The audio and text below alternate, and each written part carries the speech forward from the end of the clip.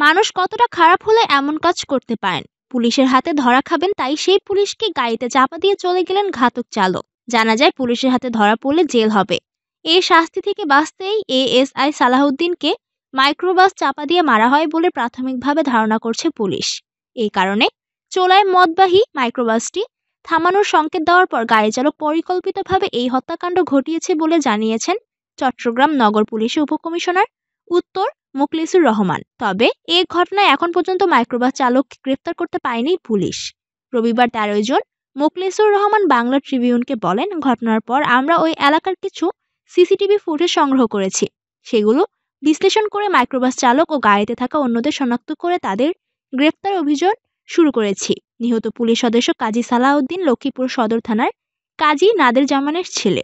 দু হাজার আঠারো সালে তিনি চন্দগাঁও থানায় এএসআই পদে কর্মরত ছিলেন। শুক্রবার এগারো জন ভোর চারটার দিকে চট্টগ্রাম নগরীর চান্দগাঁও থানাধীন মেহেরাজঘাটা পেট্রোল পাম্পের সামনে মাদকবাহী মাইক্রোবাস চাপায় তিনি ঘটনাস্থলে মারা যান। ঘটনার পর চান্দগাঁও থানার ওসি মোস্তাফিজুর রহমান জানান, শুক্রবার ভোর চারটার দিকে সালাউদ্দিন মাইক্রোবাসটিকে থামার সিগন্যাল দিলে চালক গাড়ির গতি কমায়। তখন এএসআই সালাউদ্দিন গাড়িটির সামনে গেলে গতি বাড়িয়ে তাকে ধাক্কা দিয়ে পালিয়ে যায় চালক। এতে ঘটনাস্থলেই তার মৃত্যু হয়। একই ঘটনায় মোহাম্মদ মাসুম আহমেদ তুহিন নামের আরও এক পুলিশ কনস্টেবল আহত হয়েছেন।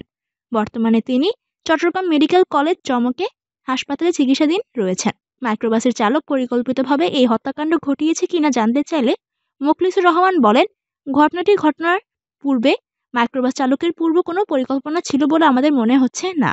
প্রাথমিকভাবে আমরা মনে করছি মাইক্রোবাস চালক পুলিশের হাত থেকে বাঁচতে এই ঘটনাটি ঘটিয়েছে, তবে সে পুলিশ সদস্যদের হত্যা করতেই গায়ে চাপা দিয়েছে। পুলিশ সদস্যরা গাড়ি থামানোর সংকেত দেওয়ার পর হয়তো সে পালানোর পথ খুঁজছিল। তখন সে পুলিশকে মেরে পালানোর পরিকল্পনা থেকে এএসআই সালাউদ্দিনকে চাপা দিয়েছে। অন্য এক প্রশ্নের জবাবে তিনি বলেন, ঘটনাস্থল থেকে এক কিলোমিটার দূরে মাইক্রোবাসটি রেখে চালক পালিয়ে যায়। সিসিটিভি ফুটেজে আমরা সেটিই দেখেছি। এই বিষয়ে এই মুহূর্তে আমরা কিছু বলতে পারছি না। চালককে গ্রেফতার করার পর এসব বিষয়ে বিস্তারিত জানানো হবে। চাঁদগাঁও থানার ওসি মোস্তাফিজুর রহমান বলে মাইক্রোবাসের রেজিস্ট্রেশন নাম্বার ঠিক আছে। গাড়ির মালিকের পরিচয় পাওয়া গেছে। মাইক্রোবাস চালককে গ্রেফতার করাই এখন আমাদের লক্ষ্য। তাকে গ্রেফতারের কাজ শুরু করছি। আশা করছি শিগগিরই তাকে গ্রেফতার করতে পারব। এরকম আর তথ্য পেতে আমাদের চ্যানেল ইউনিফর্ম টিভির সাথে থাকুন। আর যদি সাবস্ক্রাইব না করে থাকেন, তাহলে এখনই সাবস্ক্রাইব করুন। আর ভিডিওটি লাইক এবং শেয়ার করুন।